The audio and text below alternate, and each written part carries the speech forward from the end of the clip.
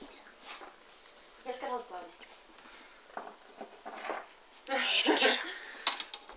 Eða bara, það er bara fósakísa mín.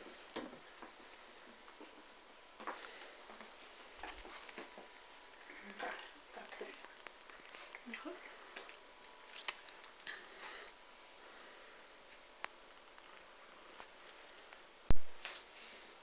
Hmm.